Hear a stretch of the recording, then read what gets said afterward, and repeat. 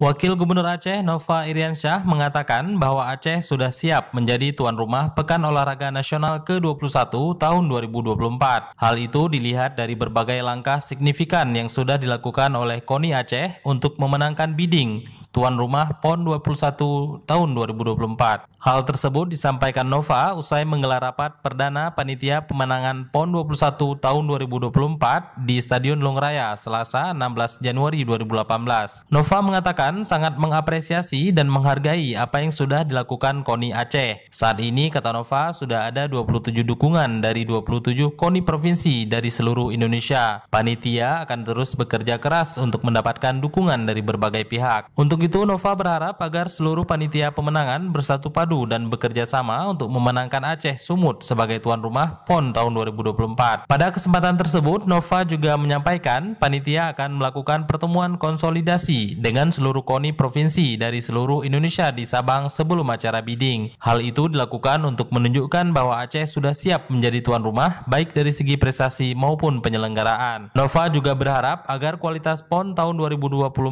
lebih ditingkatkan sehingga atlet-atlet PON nantinya bisa berprestasi baik di event-event regional maupun internasional. Dalam rapat tersebut, Ketua KONI Aceh Muzakir Manaf juga menyerahkan bahan dokumen bidding PON Aceh Sumut dan dukungan provinsi kepada Wakil Gubernur Aceh Nova Iriansyah selaku Ketua Panitia Pemenangan.